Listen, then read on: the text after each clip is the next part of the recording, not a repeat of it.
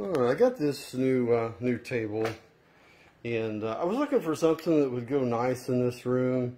Uh, definitely wanted something white, and uh, uh, and I found this one, and I, and I love the different types of glass, and I just had to get it. Um, I was just going to do pictures. Um, I, I definitely wanted to show a little more about this one because I was really impressed with it, and I have to say.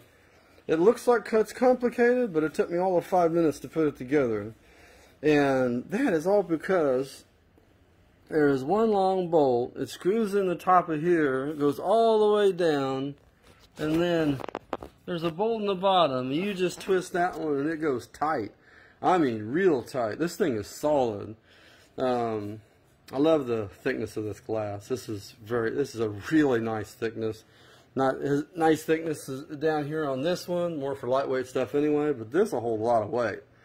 Um, but anyway, uh, the uh, like I said, the assembly was like five minutes. The the user manual that came with is um, just was pictorial, very simple to understand. Not much. I mean, it's uh, unpacking took me the most time, I have to say.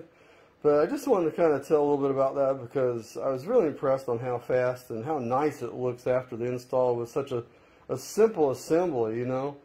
Um, but anyway, I, it looks great and I'm really happy with it and uh, there's no cons. It, it, it's exactly what I was looking for.